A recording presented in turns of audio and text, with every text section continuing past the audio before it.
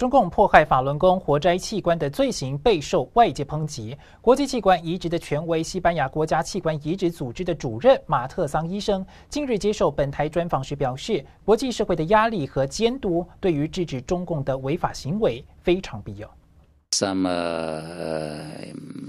Notion that uh, uh, well the problem in China is decreasing is decreasing or at least is more difficult than it was some years ago but there is no proof at all that uh, this system has been stopped just 100%.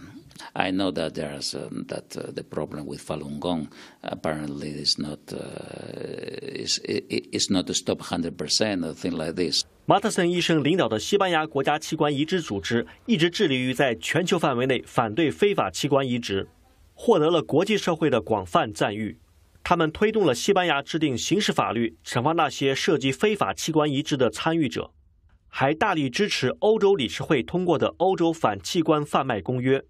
该公约于三月二十五日在西班牙的天主教名城圣地亚哥的空波斯特拉正式启动，供世界各国签署。A group of of people, the mafia, let's say, which are responsible for organ trafficking, are practically the key point to the to combat if we want to avoid this this this phenomenon.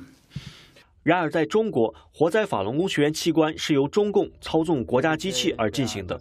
This is not uh, an illegal group of people, but uh, sometimes uh, it's, it's, tolerated by a specific government or, or is even promoted by a specific government. WHO sent this convention to the Chinese government and asked the Chinese government to, to ratify this convention. 马特森医生建议，国际社会应该对中共施压并进行监督。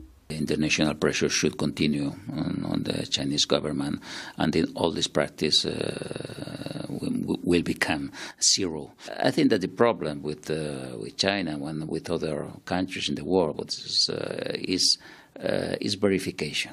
I think that international verification is absolutely necessary. 新唐人记者杨立新、李迪亚，西班牙马德里报道。